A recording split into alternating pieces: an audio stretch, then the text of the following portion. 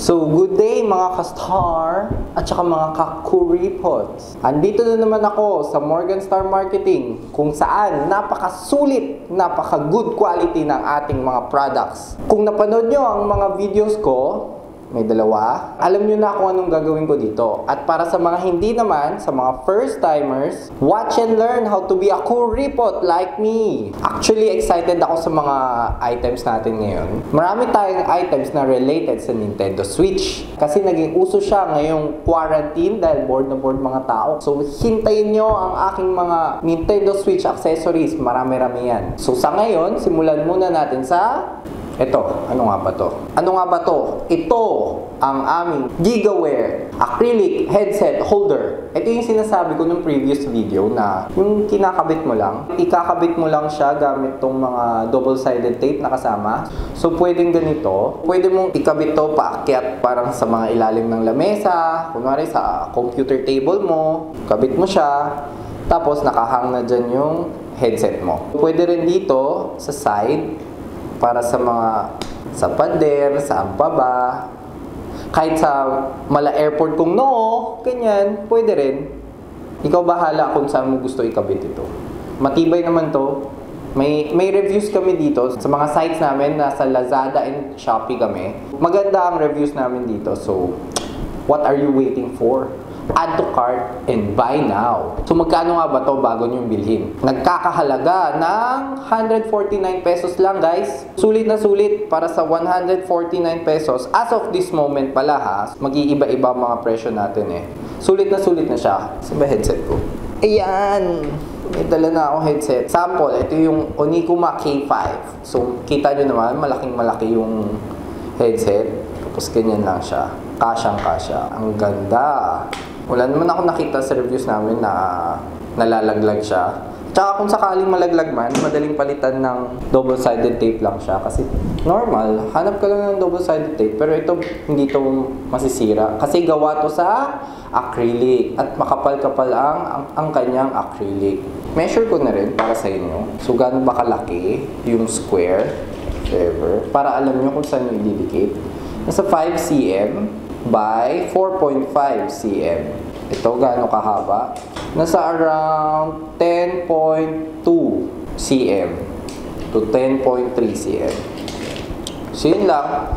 Nasa links lang, ay mali. Nasa description lang ang mga links nito. Check nyo na lang. Ito na yung sinasabi ko, sisimulan ko na sa mga switch accessories natin. Ang first switch item natin ay ang 8-bit do USB wireless adapter for PS Classic Edition. Hindi lang siya pang PS Classic, pwede rin siya sa Android TV, Raspberry Pi, ano tong ret Retro Freak, Switch, syempre, Windows, and Mac OS. Paano i-pair to? Turn on the controller to enter pairing mode. Press pair button on the adapter to enter pairing mode. LED will be solid blue when connection is successful. Ano yung button na sinasabi niya? Ito lang ang laman niya. Isang ganito lang. Measure ko kung gaano kalaki. Sa around 5.5 cm by 2.5 cm. So, hindi ko siya mabubuksan ngayon kasi naka-tape siya ng manual niya. So, manual din niya to kung paano kung ano yung mga pipindutin mo para i-connect mo sa bawat unit mo. Kung anong unit mo, like Switch, PS Classic, and PS4. Ito lang yung sinasabi niyang button, yung pairing button niya. May dalawang colors kami nito. May brown rin kami at syempre ito ay ang kulay gray. Magkano ba to? 598 pesos lang siya. Ang alam ko is 1 for each Bluetooth controller lang siya. So 1 is to 1. So isa lang ang makakonect sa bawat ganito. Next item na, syempre kung may Bluetooth receiver ka, kailangan may kukonek ka rin. Ah, so, simulan natin sa first controller natin. Ang 8-bit do SN30 Pro wireless Bluetooth gamepad. Pro siya, so kasi may previews na hindi Pro version. Ang Pro version, may dagdag lang na rumble vibration, motion control, at saka Type-C. Ganda, oh. SNES na SNES. Sino ba sa inyo ang nakaabot pa ng SNES? Ako natatandaan ko, nag rental pa ako nung kabataan ko para lang maglaro nito eh. Maganda naman ang pagka-crunchiness ng buttons niya. May kasama siyang instruction and yung Type-C na pang-charge niya. So, importante, basahin niyo yung manual natin kasi nandito nakasulat kung paano i-pair siya sa bawat console. Pairable siya sa Switch, Android, Windows, and Mac OS. Trinay ko kanina sa iPhone, medyo hindi ko siya ma mapadetect sa iPhone. Hanggang Mac OS lang siguro, hindi kasama ang iOS. Andito yung pairing button niya sa taas. So, huwag nyo na lang makaligtaan. Ito yung pairing button. So, try natin i-pair tong SN30 Pro 2 sa Android phone. So, sa pag sa phone ka, kailangan mo i-on ang iyong Bluetooth. Okay. Tapos, pag sa SNES naman, SNES, SNES, ako na SNES. Isipin nyo na lang guys sa SS. Start and B button. Ah, hold. So, magbi-blink yung first, tapos, pipindutin mo ang pair button, hold, iilaw siya, tapos dapat mahanap mo na siya sa Bluetooth. Ayun. Kita ba? 8-bit do, SN30 Pro, pair, connected. Connect, ayun. Kita ba? May, lumilipat-lipat siya. Ayan. Ito na down, left, left, left, pin, pindot. Yan. O, yun na. So, kita nyo naman na gumagana talaga siya sa Android. So, pwede nyo siyang gamitin. Hindi ko na alam yung compatibility niya sa per game. Pero gumagana sila sa Android.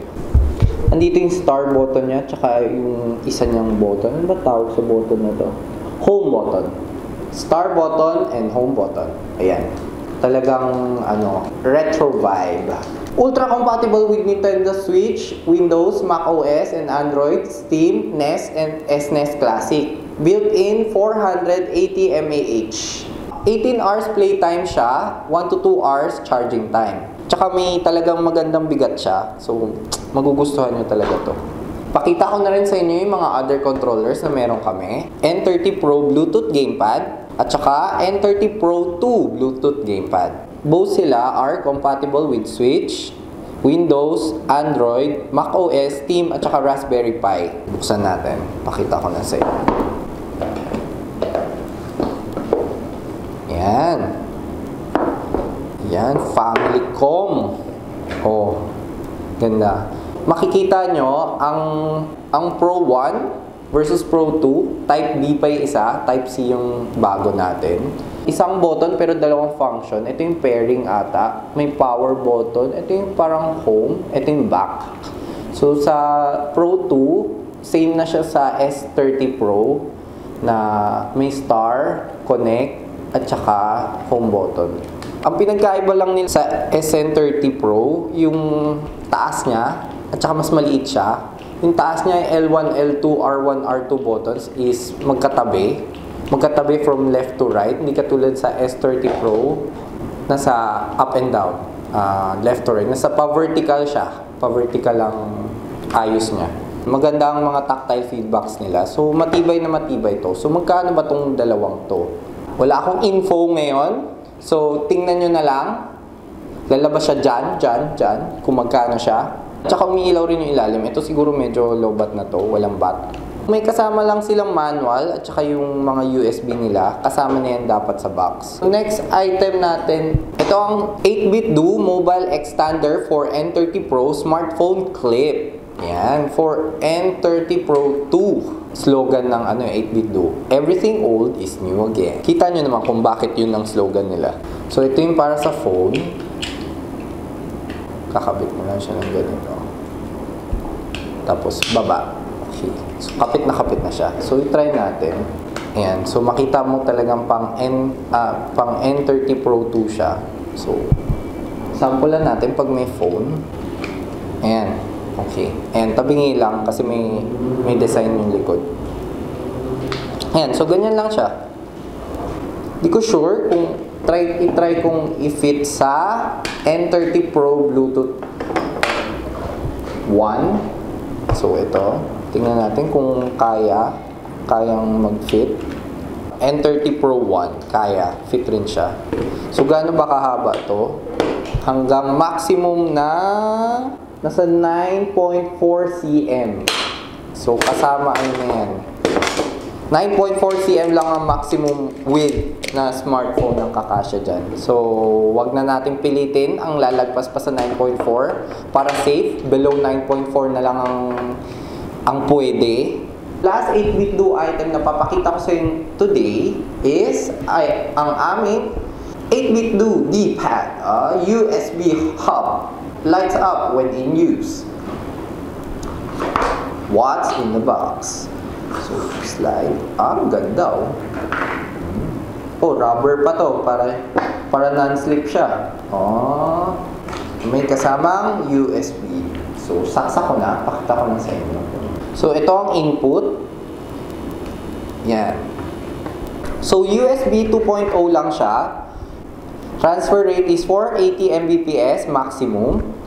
Interface number is tatlo. 1, 2, and 3. Tatlo pwede mong saksak. Working voltage is 500 mA. Maximum yan. With regards to charging na siguro yan. Dimensions are 60 by 60 by 17 mm. So, 60 by 60 by 17 mm. Yun yung kapal. Nakita ako minsan sa ano sa groups, pwede mo tong isaksak. Itong Bluetooth receiver, pwede yung isaksak sa switch nyo, tapos bumili kayo ng tatlo nito para may additional kayong tatlong controller sa switch nyo pa. So, yun ang 8-bit do lineup namin sa, dito sa Morgan Star Marketing. Ang next item ko ay para sa mga fashionista naman. Simulan natin sa lalaki. Ang Foy Dai Shoe Man 3-in-1 Kangaroo Leather Bag. Foy Dai Shoe Man. Ah, parang Mango Man. 3-in-1 siya kasi may kasamang bag, wallet, at napakagandang belt, buckle. Simulan natin sa bag. Maganda naman yung material niya. Measure ko kung gaano kalaki ang bag natin. So, nasa 25.5 cm tangkad. 29 cm, mga ganon, 29 or 28.5 cm. Ang kapal niya is nasa around 7 to 7.5 cm. So, depende na yan. Siyempre, lal- lalaki pa yan. Depende sa kung anong ilagay nyo. So, tingnan lang natin kung anong laman. Ay, pera! Tabi lang muna natin. Mmm, amoy. Amoy kape. Inner lining, polyester. Tapos may isang zipper pa, so may pocket sa loob. Meron din siyang divider dito sa loob for your smaller things. Tapos, yung next zipper, eh, may, may laman pa ba? Wala. Isang lalagyanan pa ulit dito, walang laman. May zipper pa sa likod. May lang siya, mga, ayan. Hanggang dito lang yung thumb ko. Mga nasa 10 cm ang lalim. Yung lapad niya, hanggang saan? Nasa 10.5 cm. Fashionista ang dating mo dito. May three colors kami nito. Ito na yung dark brown, black, at saka light brown. Hindi ko lang sure kung may available pa sa ibang colors, pero ito kasi ang nahawakan ko today. Yung wallet naman, Okay, sa wallet naman, may isa pang bills, second pang kalat, anim na credit cards or any cards, beep cards, tapos pang coins, hindi ko nabubuksan. Tapos sa kabila, same ulit, may anim na cards, tsaka pang bills. Anong amoy? Amoy kape, leather, gaano kalapad, 21 cm. So, take note guys, yung mini-measure ko is yung labas. So, yung loob, malamang mas maliit siya. Take note na lang. Tangkad niya nasa 11 cm. Kapal niya is nasa 2.2 cm. Zipper niya maganda, no? Ganda yung zipper niya. Ah. Siyempre, ang last natin, yung belt kanina. Ah, ganda ng buckle niya, oh. Ganito ata ito eh. Ayan, oh. Ito may na-adjust. Eh, Ha? Paano ba papasukin? Ayan. Papasok siya. Ayan. So, ito yung parang pampahinto. Kailangan ihilera mo siya dyan. So, para ma-release mo lang siya, pipindutin mo lang to. Hatak. Ah, ganda, no? 3 in 1. So, magkano ba to? Para sa tatlong to, ah. 729 pesos as of this moment, ngayon, kung kailan ko siya binivideo. Tingnan-tingnan nyo na lang, nandyan naman sa description ang link. Measure ko na kung gaano kahaba tong belt na to. Yung buong belt ah, pinuputol pa to, di ba? Nasa 123.5. 123.5 cm. So ano pang hinihintay nyo? Add to cart at saka buy now. 700 pesos, may tatlo ka na, oh. Oh, ano pang ano pang hinahanap mo? Huwag ka na maghanap. Pindutin mo na lang 'yan. So next item naman natin is para sa mga babae. Forever Young, originally from Korea. So anong ibig sabihin nun? Ang design niya is based from Korea. Ah, sa mga K-drama fans dyan. Ah. So ito ang Forever Young multi-card ladies wallet. So meron kaming colors pink, gray, light green, light blue, green, red, and black. Obviously, itong pink. So may maliit na pocket dito. Hmm. Oh, wala siya masyado amoy. Pocket for bills, bills, coins, tsaka 1, 2, 3, 4, 5. Tapos ito kasi yung sa pang picture. Tapos, apat na cards pa dito sa tabi. Tsaka mini lalagyanan pa ulit ng pera mo. Measure ko na for you guys. 19 cm. Tapos, gano'n ba siya ka katangkad? Nasa 9 cm. Yung kapal niya is nasa 3 cm. Pag ganito kakapal, hindi na ata kaya to sa bulsa natin. Talagang kailangan ibag na to. Kaya pambabae talaga siya. Forever Young.